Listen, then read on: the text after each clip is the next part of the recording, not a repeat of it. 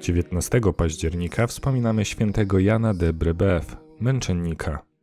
Jan de Brebeuf pochodził ze znakomitej rodziny rycerskiej. Urodził się w Normandii 25 marca 1593 roku. Wstąpił do jezuitów w 1617 roku. Po złożeniu ślubów pełnił obowiązki pedagoga młodzieży, po czym odbył studia filozoficzne i teologiczne. Wyświęcony na kapłana, na własną prośbę został wkrótce skierowany na misję do Kanady. W 1625 roku udał się tam z dwoma kapłanami i dwoma braćmi zakonnymi.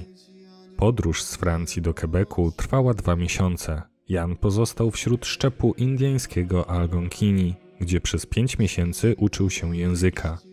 Swą dobrocią i okazywaną pomocą rychło pozyskał sobie serca tubylców.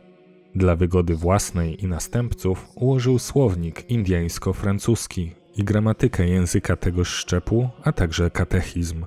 Nie udało mu się jednak pozyskać ani jednego z tych Indian dla Chrystusa. Udał się więc do szczepu Huronów nad rzeką Świętego Wawrzyńca.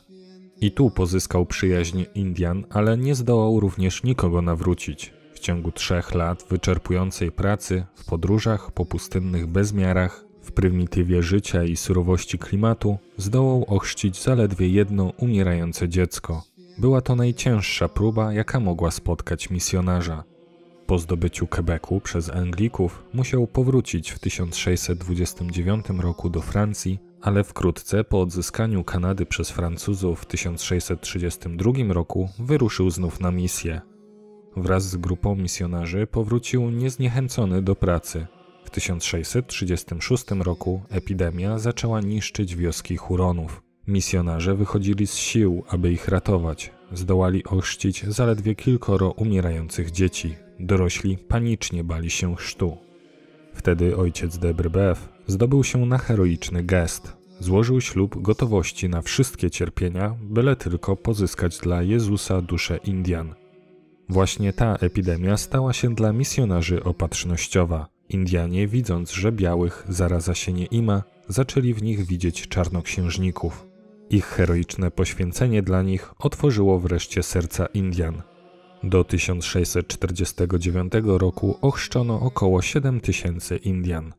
W czasie jednej z uciążliwych podróży w zimie na przełomie lat 1640-41 ojciec Jan złamał łopatkę i przez trzy lata musiał przebywać w szpitalu w Quebec.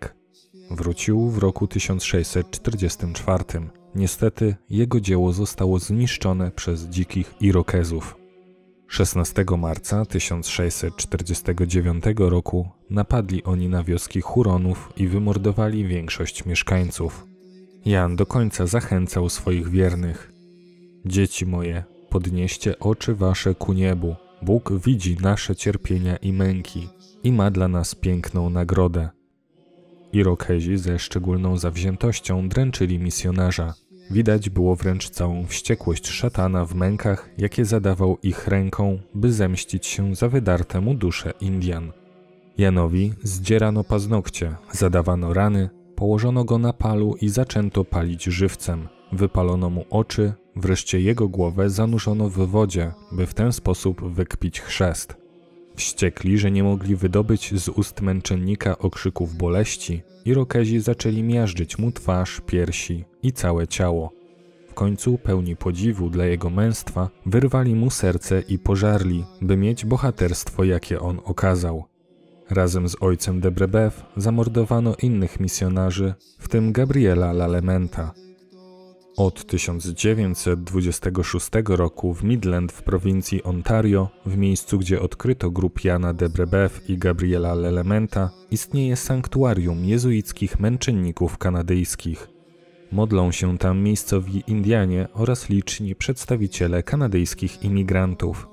Do tego miejsca od ponad 50 lat na uroczystość w niebowzięcia Matki Bożej pielgrzymuje kanadyjska Polonia. Sanktuarium to nawiedził również w 84 roku papież święty Jan Paweł II, który powiedział wówczas: Przywołajmy na chwilę tych heroicznych świętych, których w tym miejscu czcimy, a którzy zostawili nam tak wspaniałe dziedzictwo.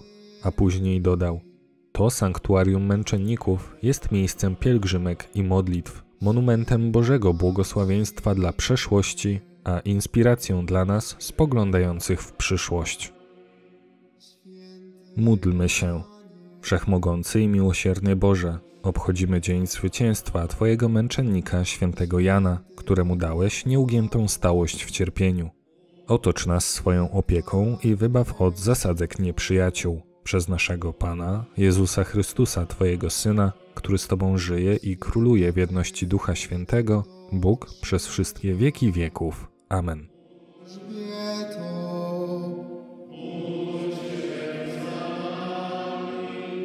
Wszyscy święci, święte Boże.